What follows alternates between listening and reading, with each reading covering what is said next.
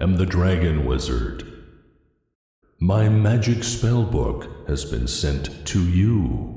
My powerful spells are now in your hands. Use them wisely. Are you brave enough to save the kingdom and become the apprentice of the great Dragon Master?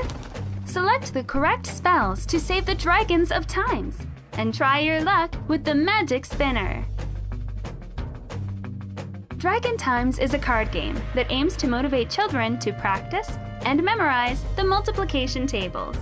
It helps them learn about factors, multiples, and division while saving and taming dragons and restoring peace in a magical land.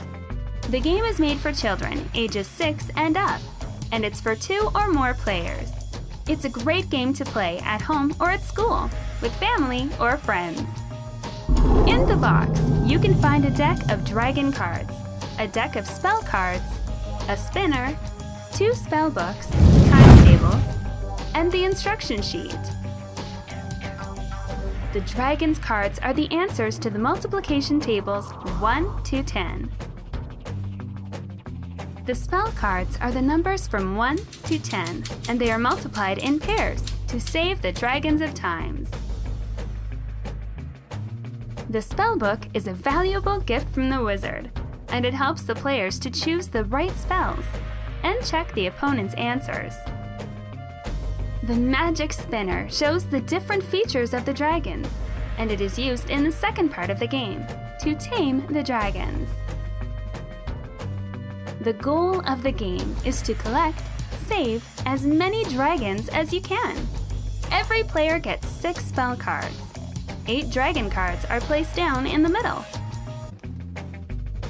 The players study their cards and try to find a pair of spell cards that, when multiplied, gives as product one of the dragon numbers. They take turns saving the dragons. The player that saves the most dragons wins.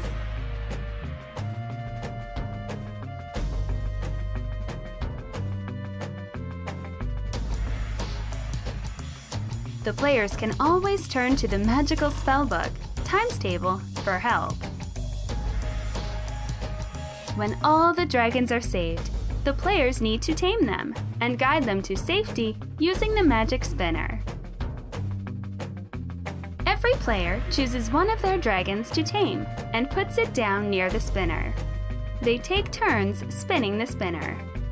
The dragons that have the specific feature that the spinner indicates are considered tamed.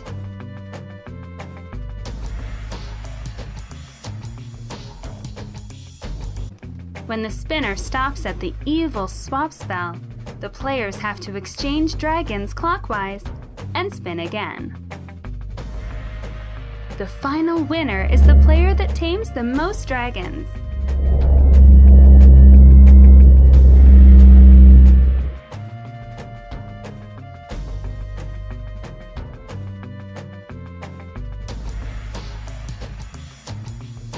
Good luck.